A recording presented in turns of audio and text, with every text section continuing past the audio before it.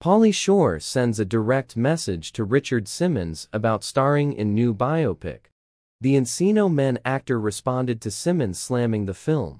Pauly Shore isn't backing away from his decision to portray Richard Simmons in an upcoming biopic in fact. The Encino Man actor thinks there's a chance he could even win an Academy Award for the performance. It's still early days for the film, which the Los Angeles Times reported doesn't yet have a writer. Wolper Organization is reportedly producing the film, with Shore in the starring role. Simmons disavowed the film in a January 17 Facebook post, suggesting that it was an unsanctioned project.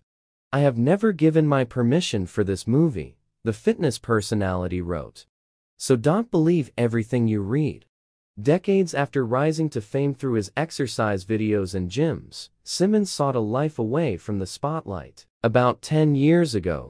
These days, he doesn't have a manager or publicist and tries to live a quiet life and be peaceful, according to his Facebook post. Speaking with paparazzi after Simmons posted his reaction to the biopic plans. Shore said one could never know what Simmons is going to say the next day. I love Richard, Shore said, according to a video of his interaction with paparazzi shared online by TMZ. If you know anything about me, I don't come from a vindictive place. Shore then mentioned a 10-minute short film he also stars in about Simmons' time on Ellen DeGeneres' show. He and filmmaker Jake Lewis launched the film while attending the Sundance Film Festival on January 19. I hope that, once he sees the short and he sees what we're wanting to do with it, that hell changes tune, Shore said, ahead of the short's launch.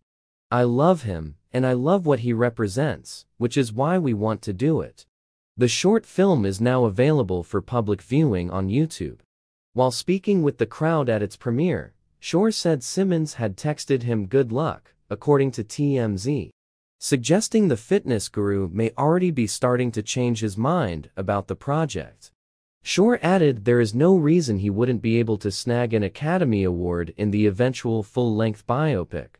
Hopefully, Richard Simmons will see we did not make fun of him, Shore told the Los Angeles Times.